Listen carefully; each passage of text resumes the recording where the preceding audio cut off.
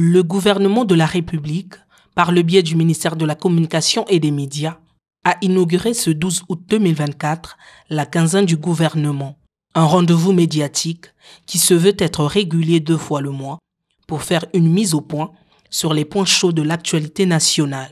Ce rendez-vous impliquera les journalistes de la presse nationale et internationale présents en terre congolaise ainsi que le porte-parole du gouvernement qui pourrait se faire assister par un membre du gouvernement concerné par la nature particulière de l'actualité.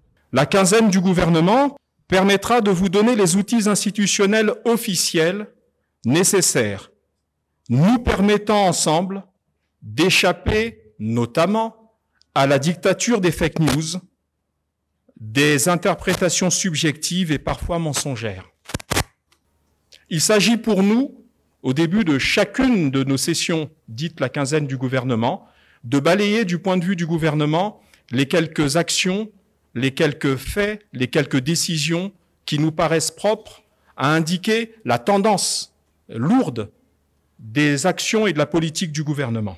Après avoir mis sur la table les points saillants de l'actualité, le porte-parole du gouvernement a eu un moment intense d'échange avec la presse pour apporter la lumière sur certaines zones d'ombre qui perturbent les Congolais. Ainsi, le ministre Thierry Mungala a fixé la presse sur l'incident survenu le 10 août 2024 au stade Alphonse Massamba Débat, qui aurait causé des morts lors de la production scénique de l'artiste Niska. Sur le concert euh, de Niska, euh, il s'avère que contrairement à ce qui peut circuler euh, comme rumeur, il n'y a pas eu de décès ni dans l'enceinte du stade, ni à l'extérieur. Il y a eu un accident, deux accidents à la sortie.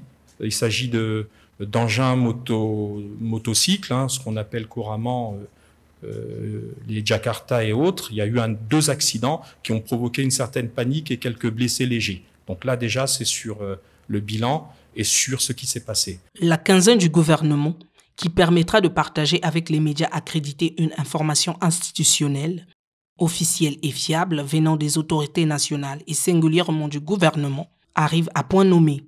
Ainsi, la Congolaise 242 va dans les prochains jours partager la position du gouvernement sur les préoccupations soulignées par la presse lors de ce premier rendez-vous, à l'instar de l'année de la jeunesse, des accords de la terre avec le Rwanda, de la rave et bien d'autres.